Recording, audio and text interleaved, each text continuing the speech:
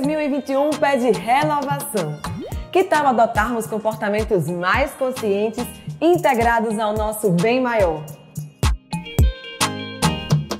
Você lembra da nossa Agenda 2020? Por conta do ano atípico que vivemos, ela foi pouco utilizada.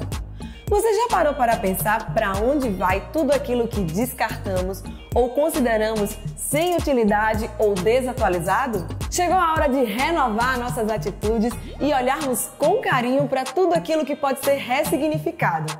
Junte-se a nós nessa ação de renovação.